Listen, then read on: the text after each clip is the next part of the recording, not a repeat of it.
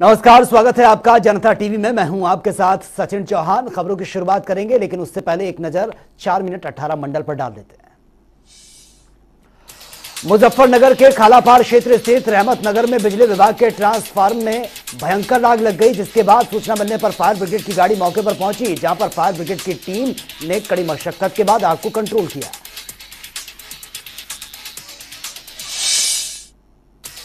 बांदा में पुलिस ने बुज़ुर्ग चौकीदार नन्हे दुबे की हत्या और लूट की घटना का किया खुलासा। आरोपी भतीजे को गिरफ़्तार कर लिया। आपको बता दें कि आरोपी भतीजे ने चाचा श्याम जी ताम्रकार के गल्ले की दुकान पर वारदात को दिया था अंजाम। पुलिस ने आरोपी सूरज ताम्रकार को बुंदेलखंड एक्सप्रेसवे के पुनहर गाँव के पास से गिरफ़्तार किया। पुलिस ने प्रेस कॉन्फ्रेंस कर पूरे मामले की जानकारी दी।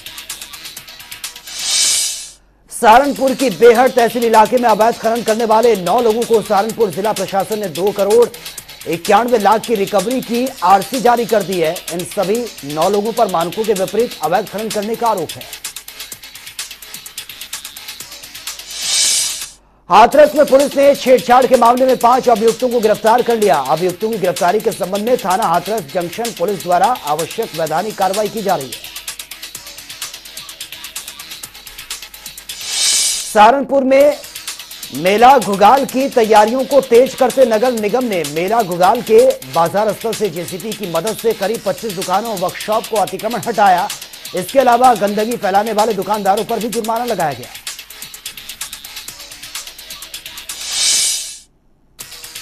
सीएम योगी ने गोरखनाथ मंदिर में जनता दरबार लगाया। जनता दरबार में प्रदेश के विभिन्न जिलों में सैकड़ों फरियादी भी पहुँचे।